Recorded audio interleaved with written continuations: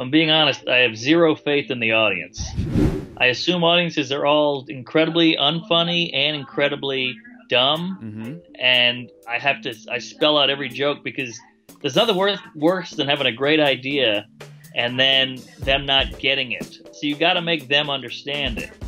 You know, so I say it over and over a million times, and I just keep trying to simplify, simplify, simplify, and take out everything you don't need and shorten it up because I, I also have no faith in people's attention span. Mm-hmm. So it's just years of hammering it through like a, a funny filter or a, simple filter. You got to drop them. Greg Giraldo said you got to kill your babies. It's hard, but I've seen comics in New York doing the same bit and it bombs every goddamn time and they keep doing it and it makes you look worse and it also makes you look crazy. Like you're going, what are you trying to get out of this bit? It never has worked once. Get rid of it. But I know it's hard. We're so attached and we took the time to write it, so it's so hard to let it go, but if you truly believe in it, I would put it aside, as I said, fall out of love with it, or become a better writer over time and then revisit it. And you can really look at it from a clear eye and go, that's what I was missing. That's it. I missed that one little angle and that changed the whole bit. So if you really believe in it, put it in the drawer, come back in a year. You almost have to tweak those to perfection in your apartment before you can actually get a laugh at it. The joke has to be pitch perfect before it'll work because the subject matter is so edgy. How do you get it right in your apartment alone without an audience? Because you, I still bombed with it, you got to just suck it up and bomb with it Uh-huh. and just get little bits of information from the audience every time it bombs. Like, all right, it did a little better if I say it that way. If I say it faster, it does better. Or if I just lean into it, it got a little bit better. And then over time, just with those little clues, I could get it to work 100%. But it took a lot of trial and error of just guinea pigging that bit over and over. Let me try it a little this way. Let me try it that way. Let me try that. And it took forever, but I finally got it. I asked everybody when I was starting out because I was like, "What the hell is your voice? What is that? Why is why has everybody found theirs and not I haven't found mine?" And somebody told me, I forgot who, but somebody gave me the great advice: is look at all your jokes that work and find the common link between all those jokes, and that's probably your voice. Why do you keep going back to these? Why is this subject matter touched on a lot? Why is this like this? Why'd you pick that material? Whatever it is, and that helped me.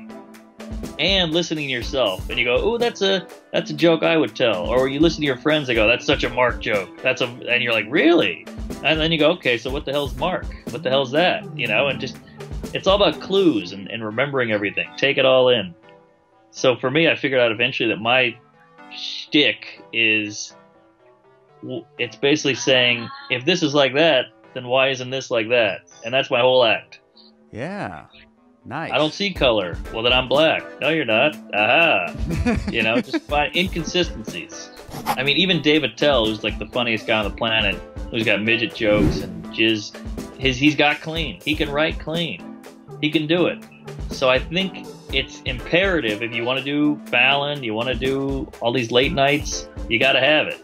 So it's a good way to get in the door. I'm not saying it's you. I'm not saying it's your voice or your path for the for forever, but I think it's good to have. And fuck it, suck it up and and try to make it work. Like, let's say you're an amazing wrestler and you want to do the MMA, you got to learn boxing. You got to Hmm. box a little. So have it in your corner. You know, I'm not saying it's got to be your future career. Uh, what, what's the opposite of temporary? Permanent? Thank you. It's not your permanent world, but try it, knock it out, and it, it's harder. It is harder. I will say, as as a comic, I can admit, clean is harder.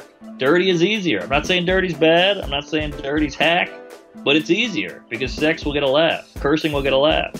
So challenge yourself by trying to write some clean. Yeah, and if you didn't have clean, you wouldn't be able to open for uh, Seinfeld. Exactly, exactly. And I trust me, I had to sift through albums of stuff Mm-hmm. to find the cleanest shit that's like his level clean. And I'm I'll tell you what, I'm glad I had it. If you're serious about becoming a comedian, join our Facebook group linked in the description below to start getting tips like these every single day. And watch this playlist of our top writing tips to improve your writing today.